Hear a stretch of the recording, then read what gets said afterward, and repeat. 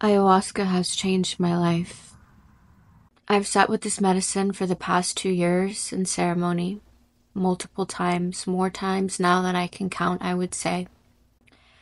And I'm not in ceremony just to sit as a participant, but I really have been there as a volunteer, helping within the space, helping others that are coming to heal, and really just holding space and assisting in whatever is needed. Out of all the medicines that I have had the pleasure of sitting with and working with, I would say that ayahuasca has been the hardest to work with. Yet for me, it's been the the medicine that I've connected with on the deepest levels. And it has a special place in my heart. This plant consciousness is all knowing, it is a mother spirit.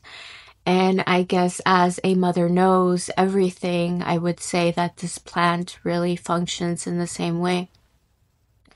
Whenever you come into the ceremony space, she knows if you are afraid, she knows if you are anxious.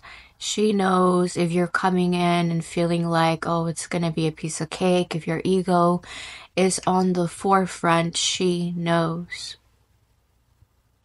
So I always say that it is very important to approach these medicines with respect, with humility, and an open heart a lot of us go into these spaces with expectations and intentions, but for me, at least, I can only speak from my experience. I've learned that the best intention for me has always been to receive whatever it is the medicine wants me to receive and just go in with an open heart and an open mind. Because ultimately, the medicine gives us what we need and not really what we want. And sometimes people go in with a lot of expectations, and that can bring about a lot of disappointment at times if it is not the experience that you were expecting. But even if you have expectations and you have intentions, every ceremony is different. So it really doesn't matter um, what you think you're supposed to get out of it because in the end, you always come out with the realization that you got exactly what you needed. As many times that I've sat with the medicine, I will still say that every ceremony and every experience is different. Every single time.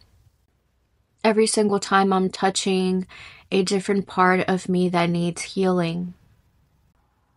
So I wouldn't necessarily say that it gets easier, but you do get to a point of understanding the the importance of surrender and ultimately knowing that you know I'm here to learn and that I don't know anything. So I really go into that space with that mindset of you know what mother teach me show me guide me because I do not I, I cannot pretend to know anything because I'm very much I've been in those situations where I have gone thinking that oh I want this I know I know that this is what I'm supposed to receive and I was shown very quickly that I really know nothing at all.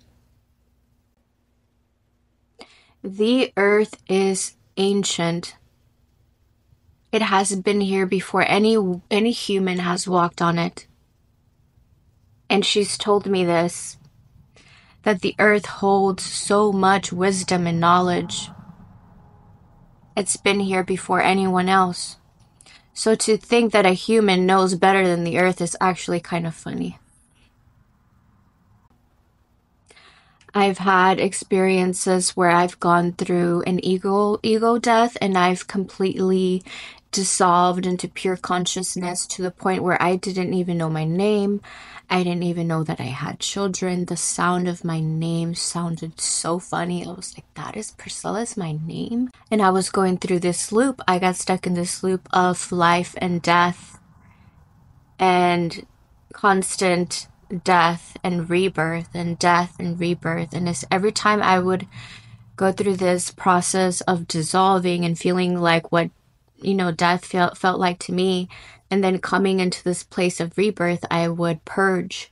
It felt like I was in this loop for hours. There's really no concept of time within within the ceremony space, but from the time that I went into that from the time that ceremony was over, I would say that it felt like a good like four hours. But again, it could have been maybe just one hour of that, but it felt like an eternity.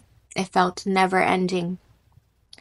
And that death experience, that one in particular, really changed my life completely. Because whenever I got out of that, I had so much appreciation for this life just to be in this reality felt like a blessing. And I understood so much. So I am and eternally grateful to this medicine. And I always say that I am indebted to the earth. And this is why I continue to show up every single time in these spaces, in the ceremony space, to really volunteer, to give my time, to give back, and I will continue to do so until the medicine no longer calls me. And I don't know if that is something that'll ever happen because of how strongly I feel within my heart and how grateful I am. But that's the thing with this medicine you don't decide that you want to drink ayahuasca. This medicine calls you and she makes herself known to you, and you will know whenever it is time. So, I will say that it is not for everyone to just go into the ceremony and drink for the hell of it because it's not something you do recreational, it's not something you do for fun. It is the complete undoing and rebuilding of everything that you've ever known. But something that people don't really talk about is the the dark period that can come after drinking this medicine because I went into a place of of feeling lost, of feeling like I was spiraling into a depression, of really not knowing where I stood in my life. But that is what happens. It is the undoing of everything that you've known. So there, there are sometimes, not for everyone, but sometimes people go into this place of uncertainty and not knowing anything about themselves because you have lost the old identity and you are not fully in your new identity. So you're in this gray area. And this is a time for integration talking to an integration guy, talking to the community, plant medicine community, talking to other people that have had this experience and also really journaling, reflecting, spending time in nature is so crucial. Grounding, remembering that you are here, remembering where you come from, these experiences are nothing without integration. Integration is like 80% of the whole experience, of the whole healing experience, of the whole ceremony experience. And and sometimes we want to tell our loved ones or we want to tell our partners, we want to tell our friends, but if you are sharing these kinds of experiences with people that are not having them, they're going to look at you like you're crazy because these are the experiences that you need to have in order to have that understanding. If you do not do this, you will not understand. So, sometimes it's better really not to share the experience with people that have not had it because it's going to be kind of hard to understand unless you know that person is a, a person who's open minded, is a person that loves you and cares about you and is fully going to support you. But it is very important for you to stay connected to community, connected to people that are within this this space so you can realize that you that everything that you are feeling is absolutely normal and that you are not alone because trust me everyone that has had these experiences, there is nothing out of this world that you can tell me because I understand it. Like, I've had so many experiences that, okay, yeah, what you're feeling, I've been there too. I've felt that. I know what you mean. Yeah, I get you. So, really remembering how you felt in ceremony and applying that to your day to day life. Because the medicine shows you that you always have a choice. You can choose to go this way or you can choose to go that way. It is truly very, very simple. And we tend to complicate things because of how simple things really are. So if you are feeling lost after ceremony, know that you are not alone. This is absolutely normal. I've been there. I had, after that experience of like really dissolving which some which actually felt a little traumatizing at the time i would say that i took maybe 5 months of really integrating and really like going deep and like meditating journaling really appreciating everything around me being more in nature being with my family connecting to my roots connecting to to where i come from and ultimately, I felt called to come back. I was pulled to come back because I, I didn't want to fear the medicine. And, and really, that experience was like my second time in ceremony. So I would say that was about two years ago. But nonetheless, it changed my life. So that period of integration is so important because there's going to be things that come to us that maybe didn't come in ceremony, things that we will realize will have, uh, you know, synchronicities and realizations and really taking the time to allow the medicine to work because even though you're no longer in ceremony, the medicine is still in you. The medicine is still working through you and a lot of things are going to be coming to you in your dreams, coming to you in your life and, and that is how you start to make sense of the ceremony, of the things that came to you while you were in ceremony.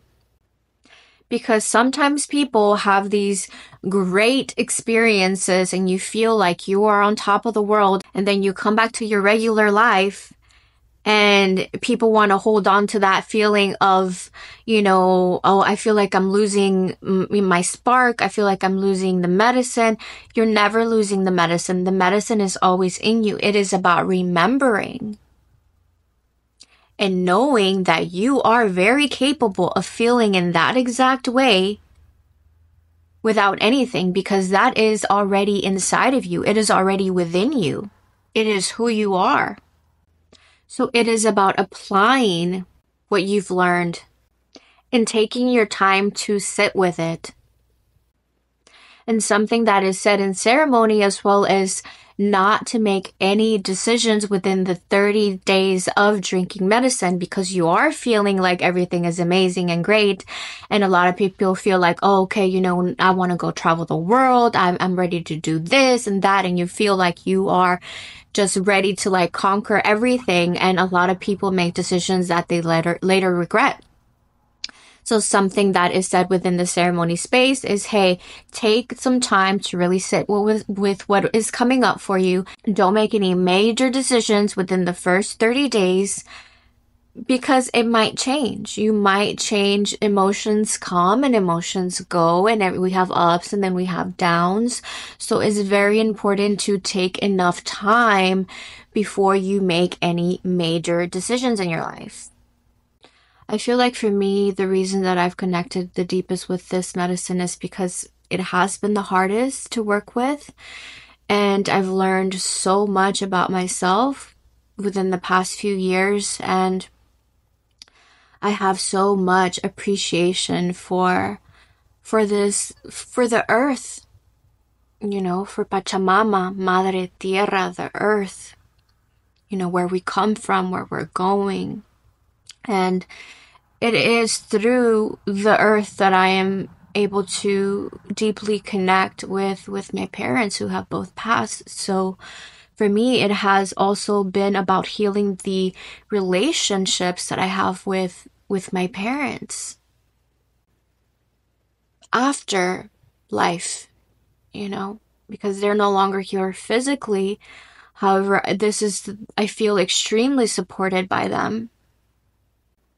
So you are always supported and you're not alone. If you feel that way, you know, you can always leave me a comment. I have my email in, in the little section there. You can reach out to me. We can chat.